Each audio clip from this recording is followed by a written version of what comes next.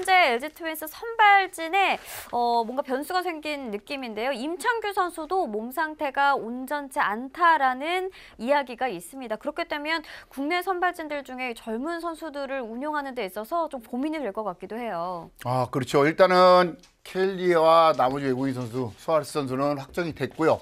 이민호 선수와 정찬원 선수까지도 어느 정도 확정이 된 상태인데 나머지 5선발 그다음에 6, 7선발까지는 확정이 되진 않았어요.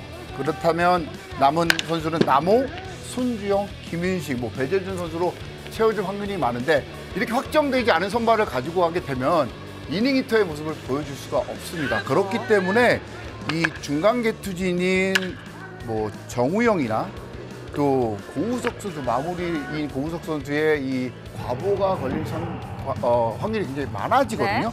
그렇기 때문에 유지현 감독의 고민이 굉장히 깊어질 것 같습니다. 하지만 유지현 감독은 이 KBO의 미래, 또 LG의 미래인 이 선수들의 어, 앞날을 생각해서 굉장히 무리를 시키진 않을 것 같아요. 특히 정우영 선수 같은 경우에 작년에 75이닝을 소화했기 때문에 어느 정도 배려가 필요하거든요.